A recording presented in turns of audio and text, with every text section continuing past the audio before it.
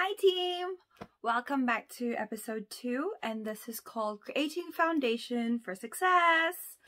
So what this means for me in my fitness journey is to create um, routines and habits that will benefit me for the long run.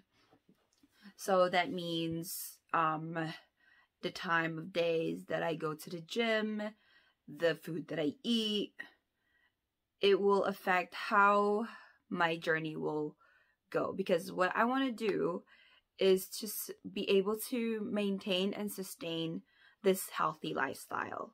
So for me to be able to do that, I really need to set some ground rules, some non non-negotiables and just try and explore the food that I really do love eating and trying to incorporate more foods that will be beneficial for me as well, like vegetables and fruits and all these good things.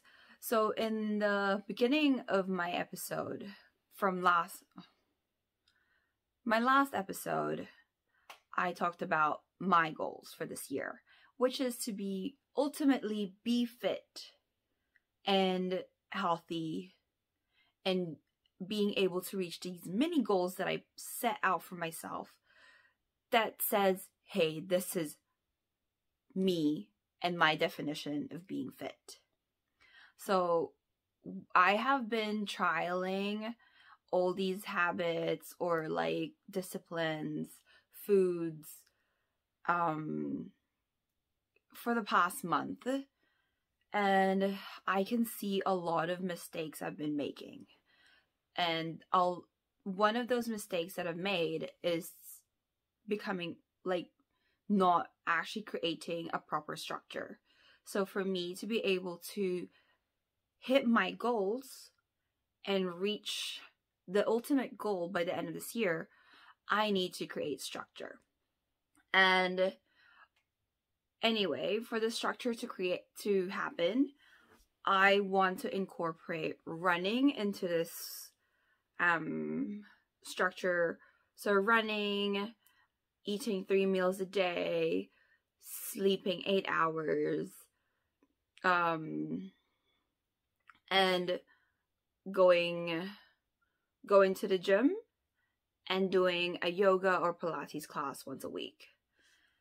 So right now I'm struggling a lot because I don't have a structure. And I think I'm this week coming up before the beginning of July. I will sit down, do a lot of hard thinking, some serious work, so I can meet my goals at the end of this year.